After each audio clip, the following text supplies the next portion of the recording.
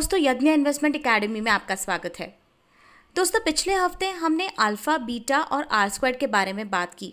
उस वीडियो में हमने कहा था कि यदि आप कुछ टर्म्स के बारे में अवगत हैं और अलग अलग प्रकार के रिटर्न्स पढ़ना जानते हैं तो आप इन्वेस्टमेंट के लिए फ़ंड खुद चुन सकते हैं। इस वीडियो में हम स्टैंडर्ड डेविएशन के बारे में बात करने वाले हैं। आने वाले कुछ वीडियोस में हम शार्प रेशियो और सोटिनो रेशियो के बारे में भी बात करेंगे और एक्सपेंस रेशियो और टर्नओवर के बारे में भी बात करेंगे। अलग अलग रिटर्न्स पर ऑलरेडी एक हमारा वीडियो है, जिसमें हमने C A G R absolute returns trading returns इत्यादि के बारे में बात की हुई है। तो यदि आप इन रिटर्न्स को पढ़ना जानते हैं और इन रिस्क रिटर्न पैरामीटर्स को भी पढ़ सकते हैं तो आसानी से इन्वेस्टमेंट के लिए खुद फंड चुन सकते हैं। स्टैंडर्ड डेविएशन समझने में काफ़ी आसान टर्म है। यह बताता है कि आपकी इन्वेस्टमेंट या आपका फंड कितना वॉलेटाइल या कितना रिस्की है। यदि मैं एक दिए समय में जानती हूँ कि मेरे म्यूचुअल फंड ने क्या क्या रिटर्न्स कमाए हैं तो मैं आसानी से मीन रिटर्न्स या एवरेज रिटर्न्स निकाल सकती हूँ।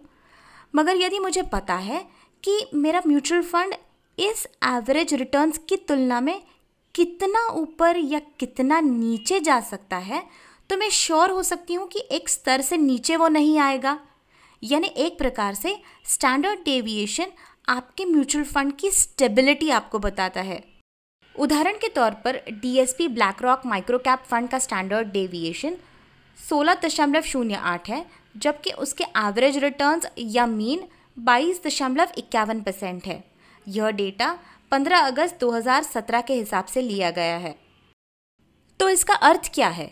इसका अर्थ यह है कि DSP black rock micro cap fund अपने एवरेज रिटर्न्स जो कि बाईस दशमलव इक्यावन परसेंट है, उससे सोलह दशमलव शून्य आठ परसेंट ऊपर या फिर सोलह दशमलव शून्य आठ परसेंट नीचे के रिटर्न्स दे सकता है। स्टेबल फंड्स जैसे कि डेट फंड्स का स्टैंडर्ड डेविएशन इक्विटी के कंपैरिजन में हमेशा कम ही होगा। उदाहरण के तौर पर हमने अभी DSP black rock micro cap fund का स्टैंडर्ड डेविएशन देखा जो कि लगभग 16 परसेंट का था।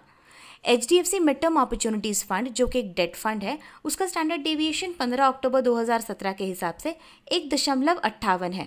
तो यानी इसका अर्थ ये है कि H D F C mid term opportunities fund अपने एवरेज या मीन रिटर्न से लगभग डेढ़ परसेंट के रिटर्न ऊपर या नीचे दे सकता है।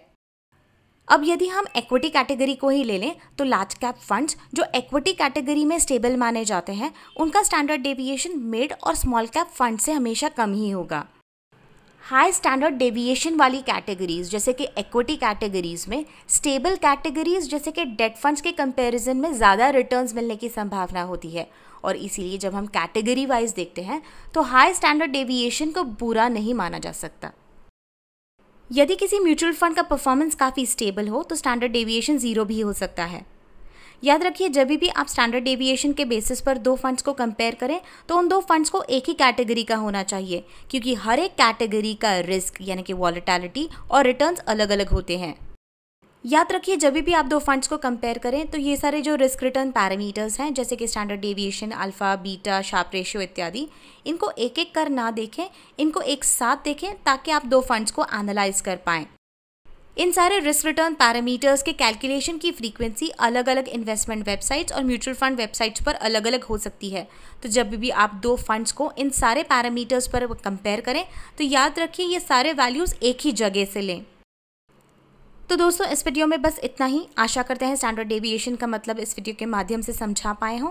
इस वीडियो को देखने का शुक्रिया। ऐसे ही कुछ और टॉपिक्स के बारे में जानने के लिए हमारा चैनल देखते रहें। यदि आपके कोई सवाल हो तो नीचे कमेंट सेक्शन में हमें पूछ सकते हैं। और यदि आपको हमारा चैनल अच्छा लगता हो तो सब्सक्राइब करना ना भूलें। सब्सक्रिप्शन बिल्कुल फ्री है। दोस्तों, जाने से पहले हम आपको एक बात से अवगत कराना चाहते हैं। आपके कमेंट्स के द्वारा ईमेल्स के द्वारा और बाकी चैनल से हमें बहुत सारे प्रश्न एसआईपी और म्यूचुअल फंड्स पर पूछे जाते हैं। ऐसे ही 108 प्रश्नों का संचय कर यज्ञ इन्वेस्टमेंट एकेडमी ने एक बुक लिखी है, जो आप अमेजॉन फ्लिपकार्ट और बाकी चैनल्स पर खरीद सकते हैं। इस बुक को खरीदने का लिंक इस वीडियो के डिस्क्रिप्शन में भी दिया गया है।